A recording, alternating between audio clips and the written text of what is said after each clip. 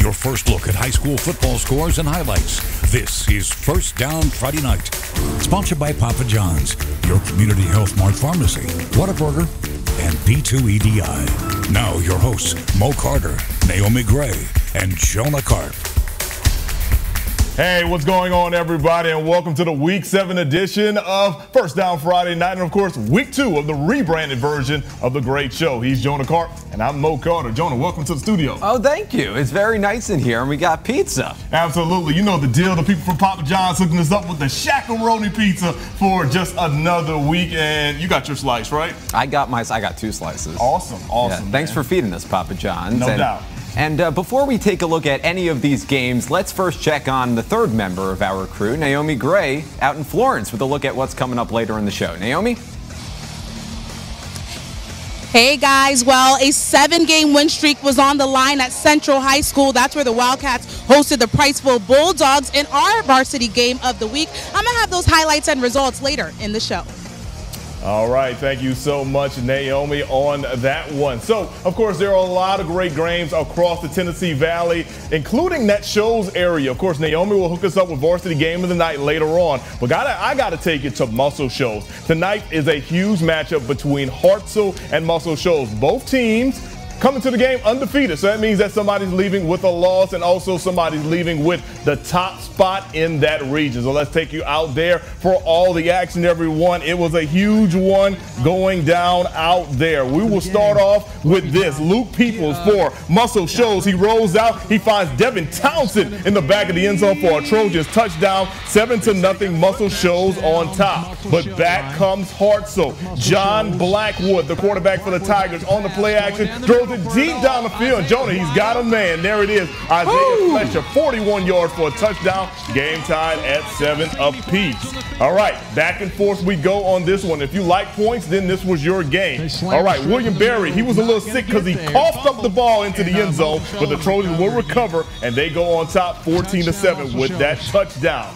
Back comes Hartselle. John Blackwood going for his favorite receiver. Once again, is Isaiah Fletcher streaking across the middle and carries a man into the end zone for a score. We're tied at 21 going into the break. In the second half, Hartselle commits to the run thanks to the work of Rye Fletcher. And look at Fletcher. He makes a move and he's gone. 48 yards for a touchdown right there to put Hartselle on top for the first time in this game. Then later on, it'll be Mr. Rye Fletcher once again, Jonah. Once we get right there, and here he is. He'll hand it off. He'll follow his block, bounces outside, and he's into the end zone for a score.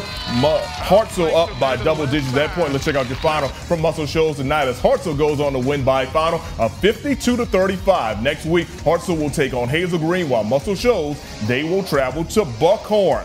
Tanner trying to protect their first place bid tonight against Falkville. So let's take you out there for all the action. The Blue Devils kick it deep. And of course, you know the weather has played a major part this year. It's been raining, so the fields are a little soaked. I think, Jonah, you talked about how bad the field conditions were last night. Well, look what happens right here, man. Oh, man. Yeah, exactly. He tries to um, pick the ball up, but unfortunately, um, yeah, he's getting stopped at the five-yard line. But that's okay because Tanner can find a way to go down the field. Nicholas Griffin having no problem as he bowls over a man for a first down. Then it's Trey Crutcher sticking to the left side, and he will pick up a first down. Just, hey, you know, nickeling and diming down the field. Then it's Alex Guster on the speed sweep around the left side, and look at him. He's taking it to the house for a touchdown right there. Rattlers strike first. They're up seven to nothing. Hey, let's take a look at the updated score that we got right now for Tanner and Falkville. Right now, it's in the fourth quarter. Tanner has a 35 to 28 lead over Falkville. We'll hook you up with a final score coming up very soon on First Down Friday night. Ah, a couple of shootouts to start off the show. It's been a rocky season for the Huntsville Panthers and perhaps even rockier for the Austin Black Bears, who have dropped four straight and five of six to begin the year. Huntsville, fresh off a victory against Albertville, looking to ride that high into its first win streak of the season. Panthers out in the cave of the Black Bears. Austin up 14 to 7 in the second quarter. De'Air Young in the shotgun, whips a pass to Nicholas Creighton, turns on the Jets down the sideline, and he's pushed out of bounds inside the red zone. Black Bears in position to tack on some more. Handoff, Tyler Cooper, and he finds pay dirt, takes a seat on the goal line. That's pretty definitive. Hey, look, check this out. the moon is glowing Austin orange, like the Empire State Building. Pretty cool. Time drained, less than a minute to play in the half. Stone Lawless trying to make something happen. Takes a village to bring him down. My goodness, clock still rolling. Panthers down two scores. Looks sideline and Lawless sends it to Benjamin Brookman. Takes it out of bounds. Enough time for one final play. Here we go. Might as well go for the end zone, right? Lawless skies a bomb and picked off. Trajan Stover. That's how the first half comes to an end. When it was all said and done, here's what the final score looked like. 31 21. Austin takes the victory against Huntsville. Next week, Florence against Huntsville. Austin travels to Albertville. The high scoring continues, man. The high scoring continues. What a show we have on our hands, huh? Let's keep the ball rolling. James Clemens looking to stay in that one seed of Class 7A Region 4. Tonight they visited Grissom at Milton Frank Stadium. Grissom in punt formation in their own territory. They go for the fake. Landon Curry toss to Frankie Johnson, the second, and he picks up a first down. Oh, those tricky Tigers, right? But the momentum, they wouldn't last long. Here's Crutcher, stopped in his tracks and sacked by Darren Verhage and a fleet of Jets. Grissom would punt soon after. Later, Gio Lopez, he goes to work. He tosses the little screen to Tyreek Walker, and he'll follow his blocks, and tip goes his way to the end zone for a Jets score. James Clemens leads 10-0. Here come the flags. Second quarter. Yeah, there are the flags. Lopez in the second quarter. He fires a laser to the back of the end zone. Kobe Johnson on the receiving end. Another Jets score. They led 17 zip at that point. And here's the final. Jets soar and remain unbeaten with a 31-13 victory next week. James Clemens at Sparkman, Grissom at Bob Jones. Mo? All right, let's head over to Madison Academy where the Mustangs were hosting Madison County last night. The little Mustangs getting a chance to trot across the field at the half. Third quarter, Mustangs up by 20. Carson Korean rolls out and hits Tim Spurlock, and the guy they call Deuce is rumbling down the field, picking up the first down and a big block right there at the end. That drive was stalled, so they attempt a 48-yard field goal, but Ian Vachon's attempt is blocked by Case Watson. Tigers will take over. But uh, they go three and out, so Madison County, the Tigers, they are forced to punt. So Bob Gotsi says, hey, they're going to kick it deep. Just make sure somebody feels it, and after somebody feels it, just, you know, make some good blocks. So the guy who's back there is Jalen Holmes. He, you know, makes a couple of guys miss, and then after that, he's got a convoy. We're going to speed it up a little bit. He's going to hurdle a man, and eventually he gets knocked out by one of the offensive linemen right there at the two-yard line. Coach Gotti says, you know what? You got us all the way down the field. Let's go ahead and reward you right here. Holmes goes into the end zone for a touchdown. Some extracurriculars after the play is over. A couple of guys from Madison County getting a little chippy with Academy. Lots of flags on this play. Let's check out your final score from this one. Madison Academy rose to a 42 to 7 victory. Next week, they travel down to New Hope while Madison County will travel to DAR. And of course, the WZDX sports team is on social media. A few things have changed. Follow Mo at Mo Carter Fox 54. Follow Naomi at Naomi Gray TV. You can follow me, Jonah, at Jonah Carp TV. Send us a tweet. We may read it on the air later. Absolutely. Now, the end of the first quarter on First Down Friday night. Up next, we're heading back out there to the Shoals area for some other matchups that have home playoff implications on the line. Stay tuned.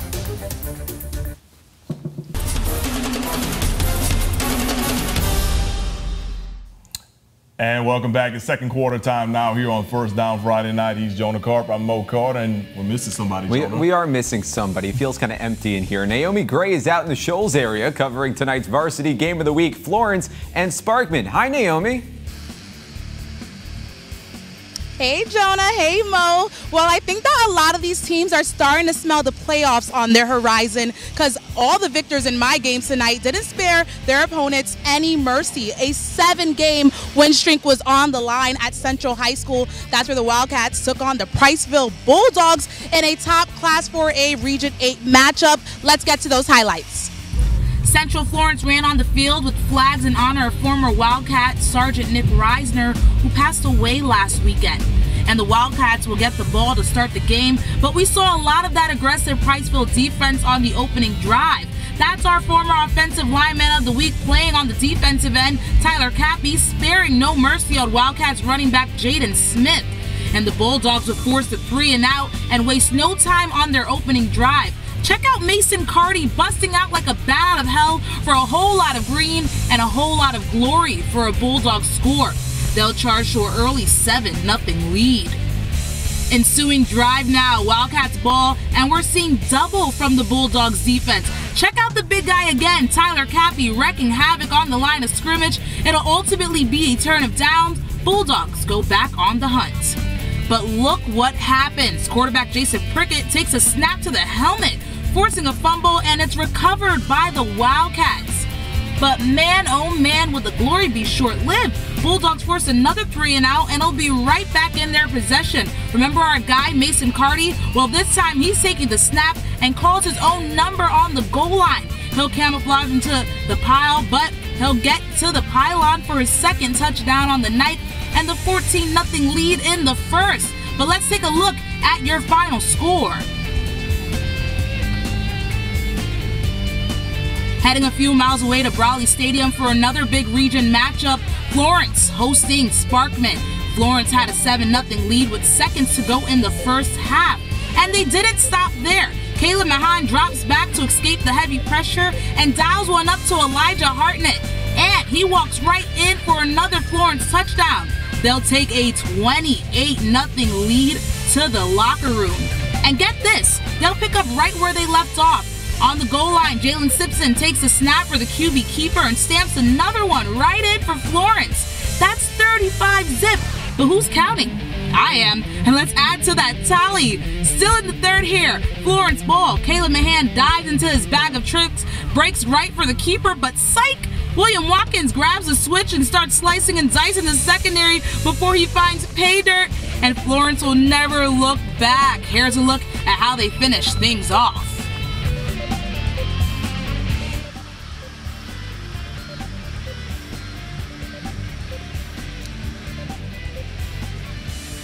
Well, yeah, I'm just still shocked over that ending for this Florence and Sparkman game. Another loss for Sparkman last week. LaRon White fell to his brother Kelvis White, Bob Jones, and I still just can't believe it. Still shocked. But let's take a look at what's happening next week. We got Central Florence traveling to Brooks, while Priceville will travel to Deshler. Then Florence will travel to Huntsville and Sparkman has a big one in James Clemens. I mean, we just don't know what's going to happen each week after week, but I know for certain next week I'm bringing the popcorn. All right, I like that, Naomi. I really do like that. And of course, I know you got to be more shocked than anyone to see Florence lose back to back games, right?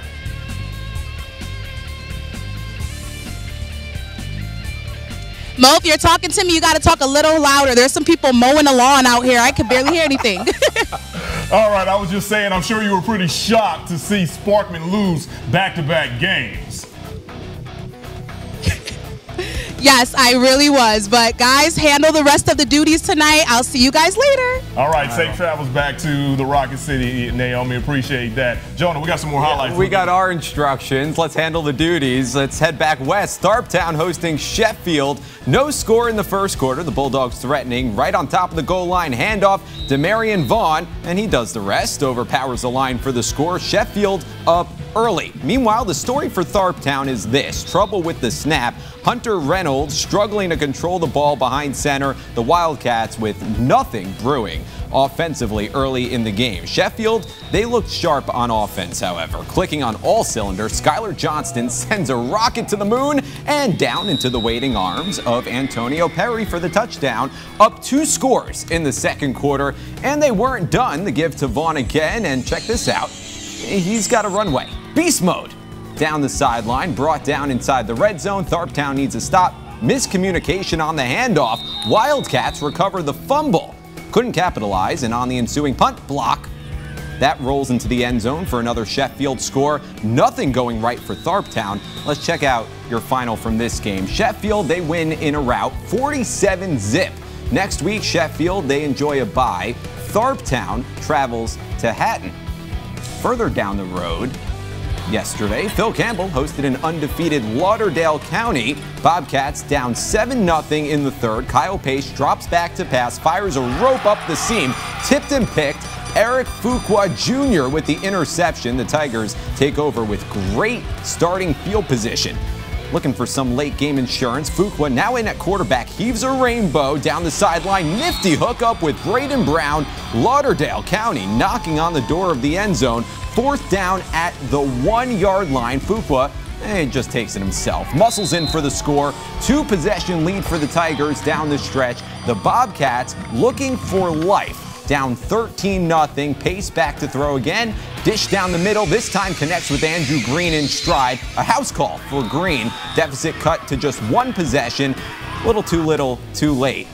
Phil Campbell wouldn't get the ball back. Let's show you the final score from this game. Lauderdale County, they go on to win it 13 6. Low scoring game. Next week, Lauderdale they, they host Colbert Heights. Phil Campbell travels to East Lawrenceville. All right, coming back close to the home, Westminster Christian hosting St. John Paul II on the last night. It's the Wildcats against the Falcons. The Wildcats, they move the ball well with their quarterback, Brandon Mush, who is one of our youngest First Down Friday night MVPs ever. And of course, he actually gets the ball right here knocked out of his hands, and the Falcons will recover. We talked about those sloppy conditions and how things would go. Now, after a quick three and out, Wildcats back with the ball with the passing game. Mush to Lattimore for the quick out to the right. Then is Mush uh, rolling out, and I think I might be ahead of myself here, but he gets the ball right there to Lattimore, and then Lattimore will pick up some good yardage deep down inside of Falcons territory. Then in his mush, once again, stepping back, avoids a little pressure here, and then heaves it to the end zone, and he's got a man for a touchdown right there. Seven to nothing. Let's check out your final score last night from Westminster Christian. They roll to a 35 to 7 victory over St. John Paul. Westminster's got Randolph next week. St. John Paul will take on North Jackson. When we return, R.A. Hubbard and Decatur Heritage vying for first place in their region. We got those highlights coming your way after the break. R.A. Hubbard, Decatur Heritage. Look at the swag on this entrance. Cool. First play for the Eagles offense. Braden Kyle doing what he does best. Remember when he was our MVP of the week? I do. Yeah. And th- this is why. Dude can fly. First play of the game. You bet that set the tone. Chiefs trying to get even. Keandra Cobb with a dish in the flat. Loose ball. That's recovered by Decatur Heritage. So the ball goes back to the Eagles. Third and 30. Yeah, you heard that right. Kyle again, stumbling and heaving. Caught? Yeah, Nash Rippin somehow comes down with it. That only gained 23, so it's still fourth and seven. Bad snap. Kyle floats it toward the end zone. That's picked off by Cobb. It takes a quarterback to know a quarterback. Chiefs didn't score. Back to the Eagles. Kyle again. Just take it yourself, man. Why not? Just do do your thing all the way to the house. Let's uh, let's take a peek. The final score from Trinity. Decatur Heritage, they go on to win it by a final of 48 to 16. Next week, Decatur Heritage, they travel to Cherokee. R.A. Hubbard heads to Waterloo. All right, thanks, Jonah. Now, the partnership between the Fox 54 sports team and Pro Football Hall of Famer Walter Jones, it continues to roll on another year as we will always honor a deserving student athlete with the B2 EDI Walter Jones Offensive Lineman of the Week award. Here's our newest winner. Two of the most potent offenses in all of North Alabama reside in the city of Madison, and both of those programs can thank their offensive lines for the production. B2 EDI has already honored the big men who control the line of scrimmage at Madison Academy, and now we're looking at James Clemens. The undefeated Jets are averaging 41 points a game, and the O line is now anchored by two offensive linemen of the week. Last year we had Edge Watson, and this year we're introducing you to Zeke Gideon you know, it starts up front with those guys. I mean, and they don't get the recognition. That's why I appreciate this so much that that a guy like Zeke can be uh, awarded for his hard work. Standing at six foot one and weighing nearly 300 pounds, Zeke Gideon is one of the guys that lives and breathes by the Jets' motto of having joy in the journey. He exceeds at that by doing everything right. That's good. It's all about assignment. It's um, worrying about the people behind you and executing your blocks. Zeke is one of those guys who loves to serve up the pancake blocks on the field while protecting his quarterback. But off the field, he also serves up different types of recipes, especially when it comes to helping out his family. Uh, I help my mom cooking. I want to do culinary in my future if you know football doesn't really work out for me. Doesn't miss work. He's you know self-reliant, um, and you know like he said he he does a lot of cooking and things like that for his mom and helps out at home. What are some of your favorite dishes? Got to ask you that. Dishes, uh, more more pasta, lasagna, all that. Because Zeke Gideon has a recipe for success on and off the field, the Fox 54 sports team, along with B2 EDI, considered him as a perfect selection for our next Walter Jones Offensive Lineman of the Week. Gideon was a little shocked to receive the award, but he understands that it's a high honor. Uh, this is all thoughts all in my head, just going around crazy. Just an outstanding uh, young man, and we're so proud to have him in the program. As always, Gideon was greeted by Walter Jones via FaceTime. He'll be able to meet the Pro Football Hall of Famer later in the year at the banquet. So congratulations to Zeke Gideon on being named our newest Walter Jones Offensive Lineman of the Week.